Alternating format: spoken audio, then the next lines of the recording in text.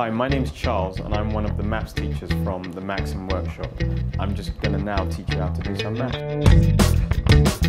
I'm going to show you how to multiply square roots. A square root is pretty much going to be visible to you in any sort of textbook by this sign. Okay? Now, imagine if I was to try to show you what a square root does to a number.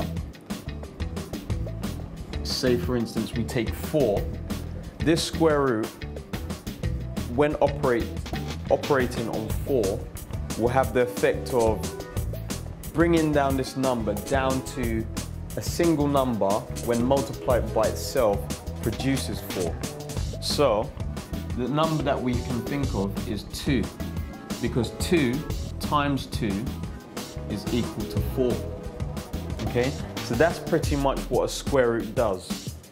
So if we had four square root times four,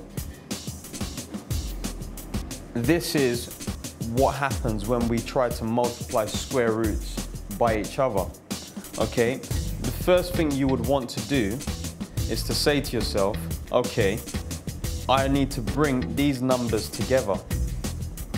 And we can do that by saying the square root goes over both numbers now. So we take off one of the square roots and we put both numbers inside the square root. So we've got 4 times 4, okay? Now, 4 times 4 is 16. So bring this all the way down here and we have square root of 16. Okay, so the square root now, we're looking for two numbers or a number when squared provides 16. That's basically the definition of 16 square root. So the number that we can think of now is 4. Okay? That's the solution to 16 square root.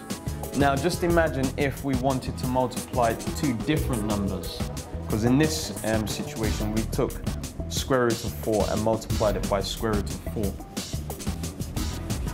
So when we have two different numbers now, say for instance the square root of 5 and the square root of 3,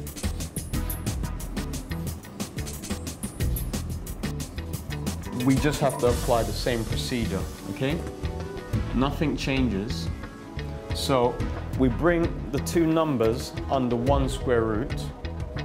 So that's our first step. So we've got a larger square root, 3 times 5. And now we think of what 3 times 5 is, and that's simple. 15. So again, the statement that the square root um, prompts us to, um, to um, establish with this square root of 15 is what number can be squared together to provide 15. Now there's no number, so we just have to leave this as that. So there's no more further simplification that we can do to square root of 15. Likewise with many other numbers. So that's how to multiply square roots.